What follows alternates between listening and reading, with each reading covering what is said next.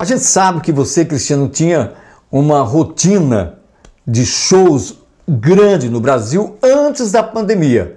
Você viajava o Nordeste, você se apresentava em vários lugares do Brasil. E hoje, né, em função da pandemia, nós já estamos no segundo ano, né, praticamente, da pandemia, tudo parou, shows pararam, né, nós já temos aí exemplos de vários cantores que migraram para outros negócios, já que a música não está dando, né? Porque não tem como se apresentar, não tem público, não tem show, enfim, e tudo tem um custo. Como é que está vivendo hoje o nosso cantor Cristiano Neves? Olá, meu amigo JN, beleza? Tudo bem? Aqui é o cantor Cristiano Neves.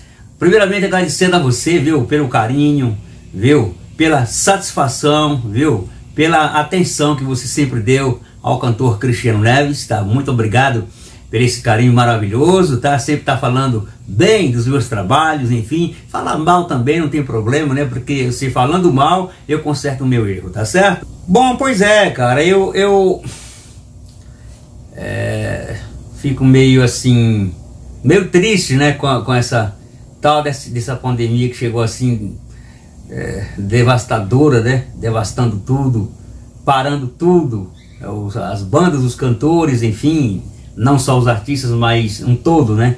Um todo. Todo o trabalho teve que parar. Ir para dentro das suas casas, ficar todo mundo preso, tipo presidiário, né? E o artista é quem sofre, né? O artista é quem sofre com pessoas que mexem com música, com outras atividades também dentro, assim, relativamente assim, dentro do, da vida artística, né? Sofre muito e com certeza está sofrendo até hoje, né? Eu tenho, eu, eu tenho as minhas economias, né? Eu, eu fiz muitos shows, eu fazia 30 shows por, por mês, entendeu? É, e aí as pessoas falam, onde é que está esse dinheiro? Onde é que está esse dinheiro? É, a gente sempre guardou né, para o futuro, né? A gente tem, tem sempre, todo mundo tem que pensar no futuro, na frente. E a gente, eu sou um cara preparado, graças a Deus eu sempre preparei a minha vida é, financeira e tal. É, para o amanhã a gente está é, tá melhor, né? Com certeza. E também tem o meu, meu digital também, que me ajuda muito, entendeu? O meu digital é, no todo, né? Que nem o YouTube, que nem o, o, o digital todo, em geral. Entendeu? No EPM, com mais de, de, de 150 é, plataformas no mundo inteiro gerando receitas e, e outras plataformas também diferentes.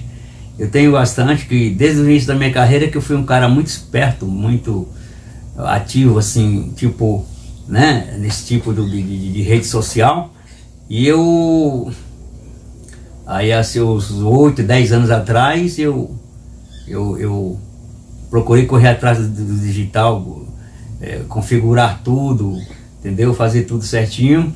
Acho que estava até adivinhando, né?